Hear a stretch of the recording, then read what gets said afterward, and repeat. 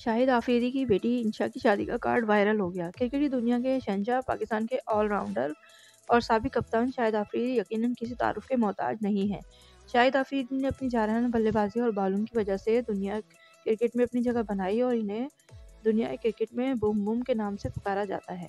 शाहिद आफरीदी ने अपने cricket career का आगाज़ बहुत छोटी उम्र में किया था। वो बचपन से ही क्रिकेटर बनना चाहते थे। इन्होंने अपने एक इंटरव्यू में इंकशाफ किया कि इनके वालिद इनके क्रिकेटर बनने के खिलाफ थे, लेकिन इन्होंने अपने जज्बे और लगन से अपने वालिद के फैसले को गलत साबित कर दिया और आज इनका शुमार दुनिया के बेहतरीन बल्लेबाजों में होता है। शाहिद आफरीदी ने 20 साल की उम्र में अपने गाँव की लड़की से शादी कर ली और शादी के बाद पाँच बेटियों के बाप बन गए। वो अपने इंटरव्यू में बताते रहते हैं कि इनकी पाँच बेटियाँ किसी बेटों से कम नहीं है।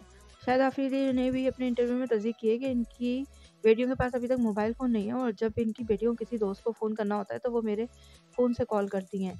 शाहिद अफरीदी की दूसरी बेटी इंशा अफरीदी की शादी के कार्ड की तस्वीर सोशल मीडिया पर वायरल हो रही है।